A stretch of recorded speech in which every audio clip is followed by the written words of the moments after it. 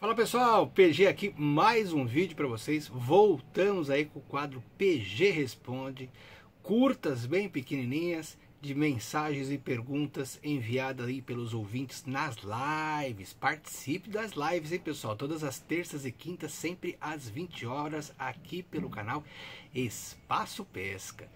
Vamos lá para mais um episódio, espero que vocês gostem. São curtinhas, respostas boas, que geralmente o pessoal tem muita dúvida, que o pessoal participa das lives.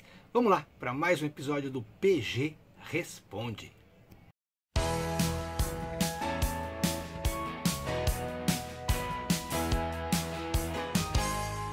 velha esquerda, é só me chamar. Tem no, no bate-papo aí, tem meu WhatsApp, me chama lá no WhatsApp, escolhe o número e vamos mandar bala.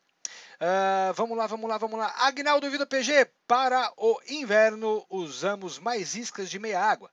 É muito mais eficaz. No verão, essas mesmas iscas continuam apresentando os mesmos resultados? Sim, Agnaldo, sim. Isca de meia água sempre funciona.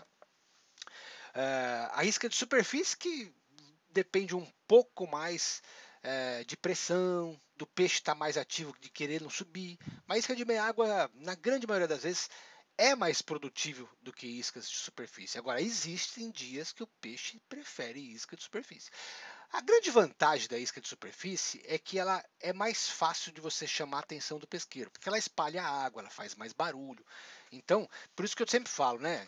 É, a galera está indo participar de um torneio, ou nem, nem questão de torneio, mas quer ter uma pescaria mais produtiva, e está em dois no barco, ou até três, mas por exemplo, dois, fica mais fácil de dar esse exemplo. A pessoa que vai no bico da frente do barco, né, na proa, vai bater numa isca de superfície, porque automaticamente ele vai chamar a atenção do pesqueiro. Toda vez que ele arremessar e, e ir batendo, vai, chamar, vai chamando a atenção do pesqueiro.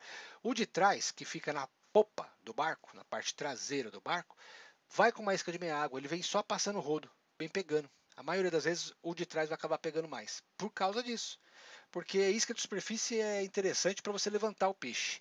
Agora, tem dias que o peixe está muito ativo, pressão bem constante e alta, aí o peixe vai acabar batendo mais rápido na isca. Então, você chamou a atenção do pesqueiro, ele já sobe e já bate. Aí você pega muito na superfície. Mas não é todo dia que acontece isso. Certo, Agnaldo?